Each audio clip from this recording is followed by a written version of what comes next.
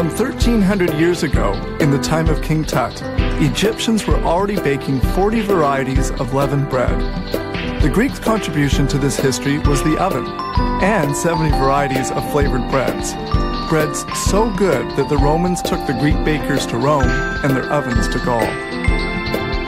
This is how, by the Middle Ages, bread had become the primary food of Western Europe.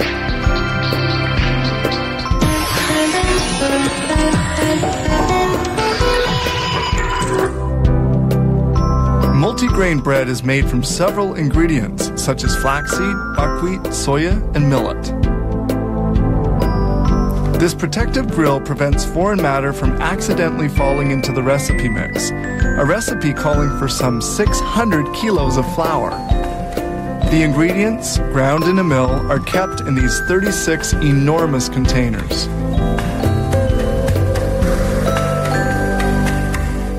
We begin by mixing the ingredients together. These kneading troughs are used to ferment the yeast, a step which takes three hours. The fermenting yeast makes the dough rise considerably.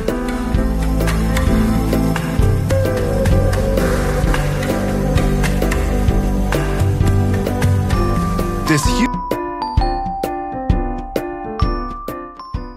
Created using Powtoon.